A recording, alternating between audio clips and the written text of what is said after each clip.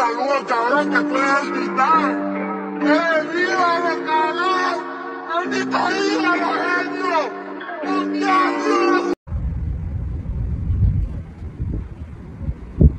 ¿Quieres enseñar una cuenta mía?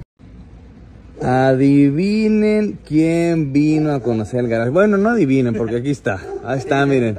Y trae, viene armado, mira. No, es que, es que vengo, vengo, vengo a. Viene, a perdón, la cámara está acá. Que tienes una cochera carísima. Sí, de París.